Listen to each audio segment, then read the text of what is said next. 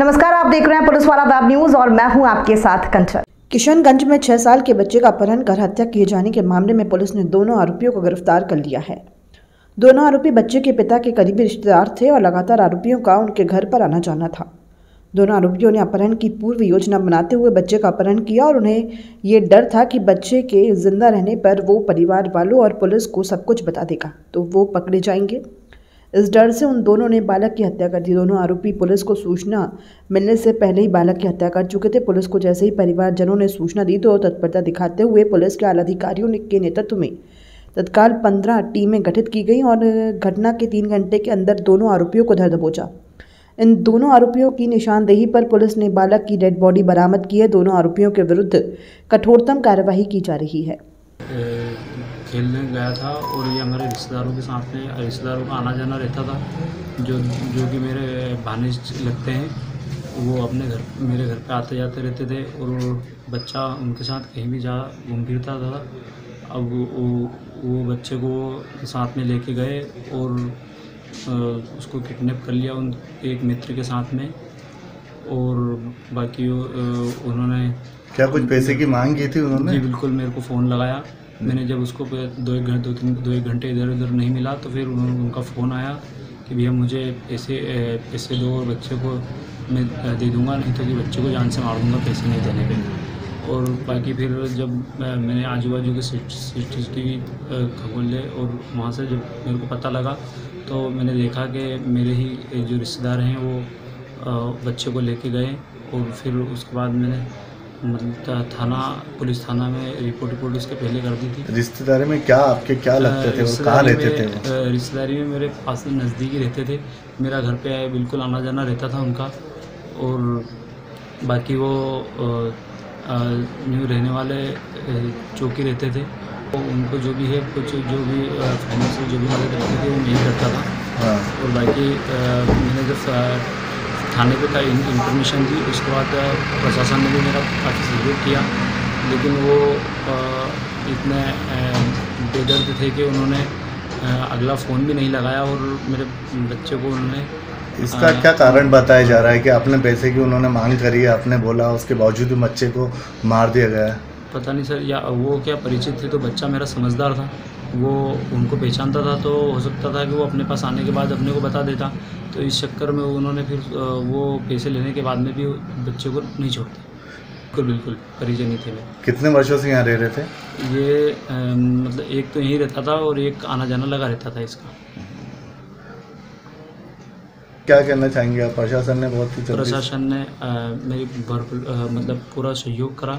और काफ़ी देर तक मैं थाने पे साथ में ही था। सर सर के आईजी साहब के डीआई साहब के और अपने एएसपी साहब के टीआई साहब सभी ने मेरी मदद करी और बाकी जब अंत में ट्रेस रेस करके हमने उसको आ, मिला तो उस समय वो कहीं बच्चे को आत्मघात करके कहीं निकल चुका था। इसमें एक बात और लेन देन उनसे कुछ नहीं था। कुछ भी लेन देन नहीं बस अपने एक पैसे को लेकर उन्होंने हाँ, बस वो खाली फिरौती के। लिए कितनी फिरौती की मांग करी थी आपसे? सर उन्होंने फ़ोन पे मेरे से चार करोड़ चार करोड़। कल शाम महू के किशनगंज थाना क्षेत्र में पिगम्बर गाँव आता है वहाँ एक बड़ी दुखद घटनाक्रम हुआ जिसमें एक छोटा बच्चा हर्ष छः वर्ष का है जिसकी जिसका अपहरण किया गया। इसकी सूचना इसके परिवारजनों ने लगभग नौ बजे के आसपास पुलिस थाने में की थी। और पुलिस थाने को जैसे ही सूचना मिली, तुरंत ही टीमें गठित हुई और इस मामले की हम लोगों ने पड़ताल शुरू की। घटना की पड़ताल के दौरान एक सीसीटीवी फुटेज सामने आया। इस सीसीटीवी फुटेज में जो कि एक रेलवे की क्रॉसिंग का, फाटक का एक ये सीसीटीवी फुटेज है। इस फुटेज में बच्चा एक लड़के के साथ जाता हुआ दिखाई दे रहा है। और जैसे जिस तरीके से वो बच्चा जा रहा है, ऐसा देख के लगता है कि जैसे बच्चा अपनी स्वीकृति के साथ ही उसके साथ जा रहा है। इस बात से पुलिस को ये शंका हुई कि ये कोई ना कोई रिश्तेदार या जान पहचान वाला होना चाहिए। तुरंत ही परिवारजनों को संपर्क किया गया और इसके बारे में जानकारी निकाली। तो ये इनका करीबी रिश्तेदार रितेश था, जो इस बच्चे को साथ में लेके जा रहा था। इसके बाद जाँच का क्रम आगे चला और रितेश से पूछताछ की गई। रितेश ने स्वीकार किया कि उसने कुछ दिन पूर्व ही अपने एक अन्य रिश्तेदार जिसका नाम विक्की और विकास है, उसके साथ एक प्लानिंग की थी। और इस प्लानिंग में इनका ये था कि हम चूँकि ये बच्चा हमसे बहुत प्रेम करता है हम पे बहुत विश्वास करता है तो हम इसको विश्वास के नाते अपने साथ लेके जाएँगे। और इसके पिता से हम फिरौती की रकम मांगेंगे। चूँकि ये बच्चा हमें जानता है तो इसको जीवित छोड़ना हमारे लिए ठीक नहीं रहेगा। इसके तहत इनकी प्लानिंग यही थी कि ले जाने के बाद तुरंत ही बच्चे के साथ घटना कारित करेंगे। इसी प्लानिंग के तहत जब रितेश ने इस बच्चे को किडनैप किया और किडनैप करने के बाद अपना दूसरे रिश्तेदार विकी उसको गाड़ी में सौंपा। इसके बाद विकी इसको आगे ओंकारेश्वर की ओर लेके गया और चोरल के पास इसने बच्चे की हत्या कर, उसको वहाँ फेंक दिया। पुलिस को जैसे ही रितेश का पता चला, रितेश से विकी के बारे में जानकारी मिली। हमें सिर्फ़ इतनी बार जानकारी थी कि विकी इसमें शामिल है। इलेक्ट्रॉनिक सर्वेलेंस किया गया और साथ में ये पता चला कि विकी कहीं ना कहीं ओंकारेश्वर में शीघ्र ही ओंकारेश्वर की एक पुलिस टीम को इसमें एक्टिवेट किया गया और ओंकारेश्वर के थाना प्रभारी श्री बिसेन और उनके नेतृत्व में पूरी टीमें यहाँ मऊ से लगातार तीन टीमें उसी क्षेत्र के लिए रवाना की गई। सघन सर्च के दौरान उन्होंने एक होटल में इस लड़के को, विकी को पकड़ा।